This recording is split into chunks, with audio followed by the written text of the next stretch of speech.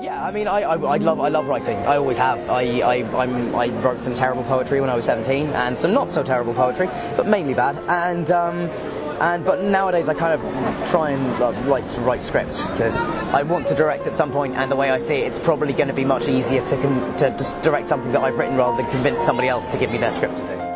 Oh, it's fantastic. I'm so happy. I'm doing a play here and it's nice to be home.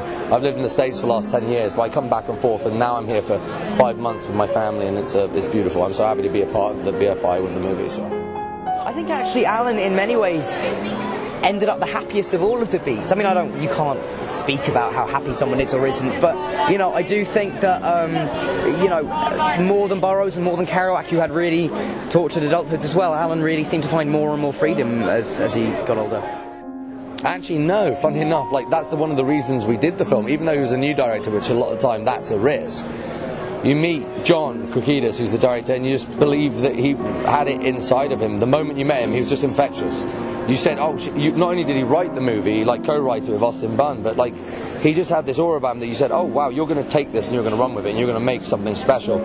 And I feel like you have to sort of put yourself in someone's hands as a director in that sense. Um, and with John, you really didn't question it and he made you feel very comfortable and very confident and he really gave everyone like their own sort of freedom like their artistic license to do what they wanted but he was very nurturing and made the movie for us really i mean it was john it's john's creation this movie it's amazing filming it. Yeah no it was such a wonderful experience. We do it's very like but that's what's lovely about all these events is that you know you get to meet up with dane and john again and you know it's sort of it is a big reunion it's always a big responsibility. But luckily, as I was saying before, it's um, it wasn't them who we know at 40 years old or 30 years old. You know that it was them as kids. They were at university. They hadn't had anything published. They weren't the Beats yet.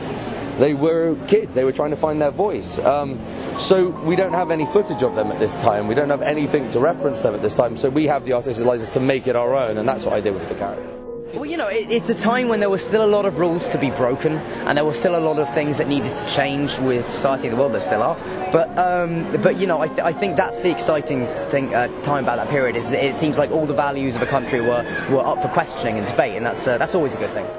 Tell me, what would you say if someone like J.J. Abrams asked you to be in the Star Wars movies? Yes. No.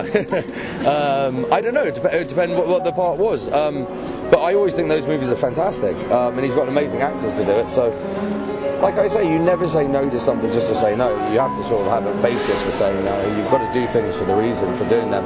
There's normally a passion for the project, for the director, for the script, whatever it is. You've got to come up with a reason. You can't just do something for something like money or something like that. But um, with a movie like that, I think they're incredible. They're beautiful films. So. If JJ Abrams comes knocking, I'd be like, all right, JJ, how are you? I'll come do it.